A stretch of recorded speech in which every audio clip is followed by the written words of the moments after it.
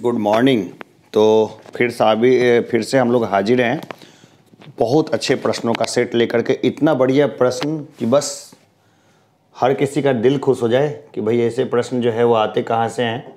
तो ऐसे प्रश्न जो हैं, इनको हम लोग लेंगे एकदम ढंग से और बढ़िया अच्छे तरीके से इसको करेंगे पूरे अच्छा से। तो हम लोग सब जानते हैं कि ये फाउंडेशन क्लासेस है, लेकिन ये फाउंडेशन क्लासेस आपके बहुत फ़ायदे की है। और मैं सभी को बोलूँगा कि रेगुलर रहिए, लगातार रहिए, कभी भी जो है ना, आराम मत कीजिए, होली के दिन भी पढ़िए। तो मेरी जो ऑफलाइन क्लासेस है ना, उसको मैं चाहता हूँ कहीं बंद ही ना हो, हमेशा रहे। होली के दिन, छुट्टी के दिन, सब दिन विद्यार्थी आएँ, भले आज एक लाइन ही पढ़ेंगे सिंगल लाइन ही पढ़ेंगे, लेकिन पढ़ेंगे ज़रूर। उसी तरह ऑनलाइन में भी मैं लोगों को बोलूँगा कि रेगुलर रहिए। सारे इससे पहले जो दस और क्लासेस हो चुकी है उसको भी देखिए। जैसे मेरी कुछ बातें अगर आपको लगे रिपीटेशन में मेरी बातें बकवास लगेगी तो बस उसको स्किप कर दीजिए। स्किप करके जो काम की चीज़ हैं उसी को देखिए। चलिए तो हम लोग शुरू करते हैं। आ, ये हमारा जो प्रश्न है उसको लेते हैं। सूर्य के द्रव्यमान का कितना प्रतिशत भाग हाइड्रोजन का होता है? बहुत अच्छा प्रश्न है। सूर्य का जो द्रव्यमान है, उसका कितना प्रतिशत भाग जो है हाइड्रोजन का होता है? हम लोग जानते हैं कि नाभिकीय संलयन होती है सूरज में, यानी न्यूक्लियर फ्यूज़न। वहाँ से ऊर्जा मिलती है सूरज को। कितना प्रतिशत होता है? तो ये होता है सत्तर प्रतिशत। कितना प्रतिशत? सत्तर प्रतिशत होता है ये। कितना परसेंट? सेवेंटी परसेंट हिस्सा किसका होता है? तो सूर्य के द्रव्यमान का सत्तर प्रतिशत हिस्सा किसका होता है? हाइड्रोजन का होता है। भारतीय संविधान किस न्यायालय में तदर्थ न्यायाधीश की नियुक्ति की व्यवस्था करता है? देखिए एड हॉक यानी टेम्प्रोरी न्यायाधीश कहाँ पे करता है? ठीक है, भारतीय संविधान किस न्यायालय में तदर्थ न्यायाधीश की नियुक्ति की व्यवस्था करता है? किस न्याय किस न्यायालय में करता है? तो ये करता है सर्वोच्च न्यायालय में। कहाँ? सर्वोच्च सर्वोच्च न्यायालय में। सर्वोच्च न्यायालय में। ठीक है, कहाँ करता है? सर्वोच्च न्यायालय में।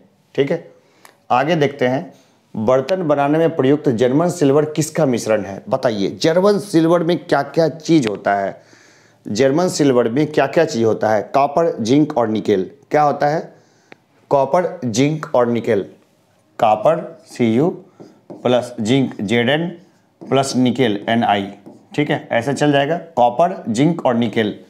फॉर्मूला लिख दिया है मैंने, आप इसको लिख भी लीजिए। कॉपर, जिंक और निकल। किसमें? जर्मन सिल्वर में। इलाहाबाद की संधि किस वर्ष हुई थी? देखिए, इलाहाबाद की संधि किसके किसके बीच में हुई थी और कब हुई थी, ये दोनों जानना ज़रूरी है। इलाहाबाद की संधि जो हुई थी, कब हुई थी और उसका क्या प्रभाव पड़ा हमारे ब्रिटिश रूल के ऊपर में, ये जानना ज़रूरी है। तो इलाहाबाद की संधि जो है, एक ऐसी संधि है जिसके बारे में हर किसी को अच्छे से जानना चाहिए। हुई थी 12 अगस्त सत्रह सौ छप्पन को। कब हुई थी? 12 अगस्त सत्रह सौ छप्पन को हुई थी कब हुई थी? 12 अगस्त सत्रह सौ छप्पन को हुई थी। इलाहाबाद की संधि। थोड़ा सा डिटेल से भी इसको ज़रूर जानिएगा इलाहाबाद की संधि को। अग, अगला देखते हैं। भारत में चलित न्यायालय का विचार किसकी देन है? बहुत अच्छा प्रश्न है। लेकिन इसमें हमेशा मेरा कन्फ्यूज़न रहता है कि किसका दिन है।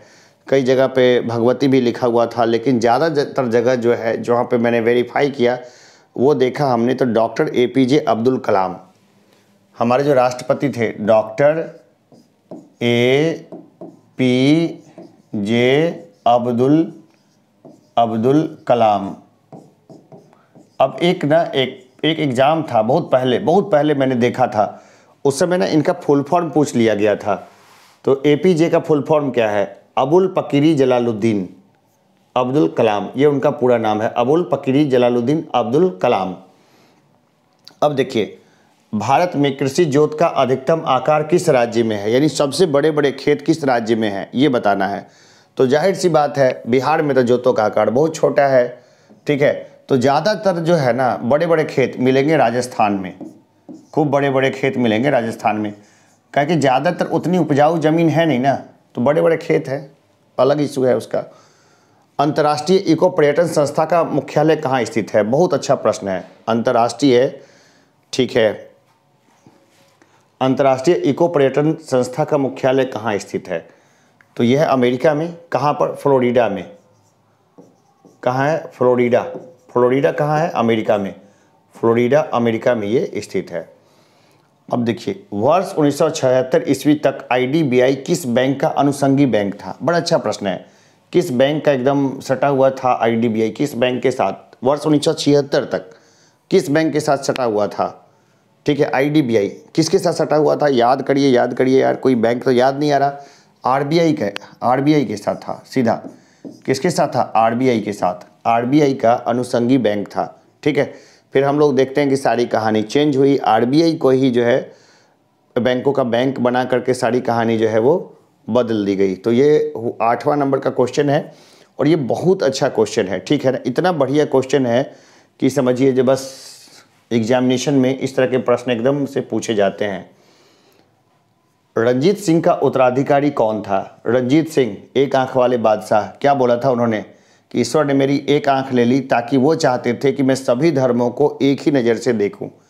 एक नज़र वाले बादशाह थे और बहुत प्रभावशाली व्यक्तित्व था। बहुत अच्छे व्यक्ति थे वो, रंजीत सिंह। रंजीत सिंह का उत्तराधिकारी कौन था? एकदम से बताइएगा। ऑप्शन में दिलीप सिंह ज़रूर रहेगा, ठीक है?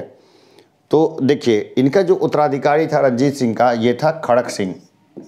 खड़क सिंह के खड़कने से खड़कती है खिड़कियाँ तो वही खड़क सिंह है। खड़क सिंह इनके उत्तराधिकारी थे। कौन थे? खड़क सिंह।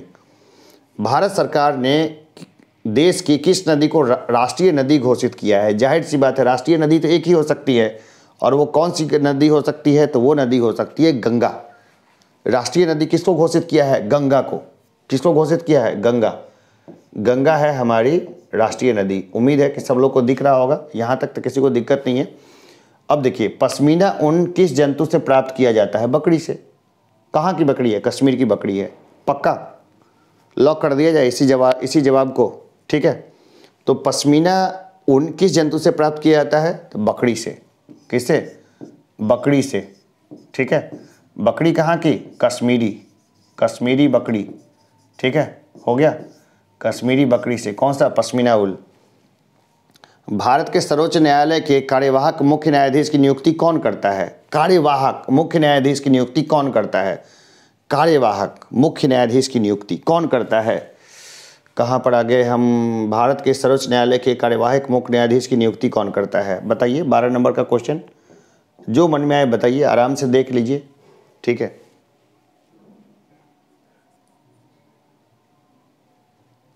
कौन करता है नियुक्ति?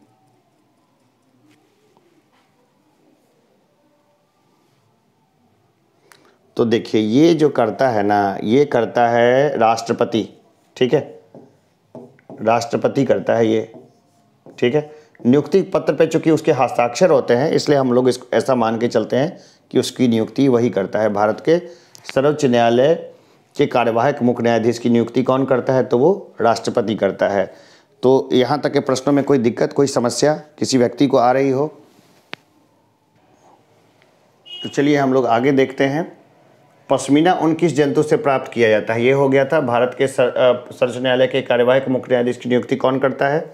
लिफाफे पर गोंद लगा डाक टिकट। किस बल के कारण चिपकता है? कौन सा बल होता है? ससंजक बल होता है या असंजक बल होता है? बताइए। तो ये चिपकता है असंजक बल के कारण। आ संजक असंजक बल के कारण। ठीक है, किस क्लास में पढ़ते हैं हम लोग? सातवीं, आठवीं में। सातवीं, आठवीं में ये सब चीज़ पढ़ते हैं। तो क्यों नहीं पढ़ते हो भाई सातवीं, आठवीं ढंग से? किसने मना किया है सातवीं, आठवीं ढंग से पढ़ने के लिए? ठीक है? तो हम लोगों को ये सब चीज़ एकदम ध्यान रखने का है। अगला देखते हैं। प्रथम आंग्ल सिख युद्ध और द्वितीय आंग्ल सिख युद्ध के समय कौन पंजाब का शासक था? पंजाब का शासक कौन था? प्रथम आंग्ल सिख युद्ध और द्वितीय आंग्ल सिख युद्ध के समय में कौन पंजाब का शासक था?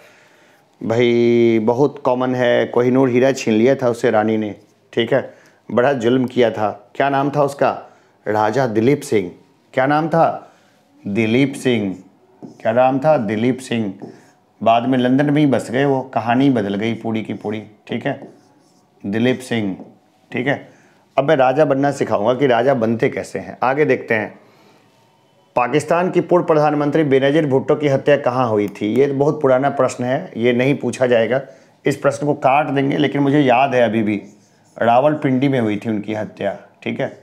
रावलपिंडी में हुई थी, लेकिन इस प्रश्न को रिमूव कर सकते हैं, क्योंकि ये अब प्रासंगिक नहीं रहा। उस समय तो करंट का मामला था तो करंट में ये चीज़ आ गया था। कोच्चि का जुड़वा नगर कौन सा है? कोच्चि का जुड़वा नगर कौन सा है? तो ये है एर्नाकुलम। कौन सा है? एर्नाकुलम। ठीक है? ये प्रश्न तो खूब बार आया हुआ है और अभी भी रिपीट करेगा, कभी भी। ठीक है? कोची का जिरवा नगर कौन सा है? तो यह है एर्नाकुलम। किसे मानववाद का संस्थापक माना जाता है? मानववाद का संस्थापक किसे माना जाता है? तो ये मानते हैं हम लोग पेट्रॉक को। मानववाद मानववाद का संस्थापक कौन था? ये था पेट्रॉक। मानववाद का संस्थापक पेट्रॉक को। क्या नाम था उसका? ये था पेट्रॉक। एकदम याद रहना है ये सब चीज़, है ना? बार बार पूछा जाता है। हर एग्ज़ाम में देखने को मिलेगा, बिहार पुलिस, सिपाही, दिस, दैट, वगैरह, फलाना डिमका सब में। आई में भारत सरकार की हिस्सेदारी कितनी प्रतिशत है? बाप ने बड़ा कैसा प्रश्न पूछ दिया। लेटेस्ट में तो कुछ बदला बदला सा माहौल है। उस समय, जिस समय था, मुझे याद है, अगर इसको फिक्स माने तो बावन दशमलव सात एक परसेंट रहा है ये। तो ये जो है ना, इसको एक बार गूगल कर लेना है, गूगल कर लेना है एक बार। और मुझे भी बताना है, ओल्ड डेटा है तो इसको कमेंट बॉक्स में नीचे में डाल देना है इसको। 15 अगस्त उन्नीस सौ सैंतालीस को, यानी जिस समय भारत को आज़ादी मिली, उस समय कांग्रेस के अध्यक्ष कौन थे? अरे जे बी कृपलानी थे। कितना बार भाई बताएँगे? ये तो एकदम रटा हुआ क्वेश्चन है कि 15 अगस्त उन्नीस सौ सैंतालीस को, जिस समय भारत को आज़ादी मिली, उस समय कांग्रेस के अध्यक्ष कौन थे? J B Kripalani.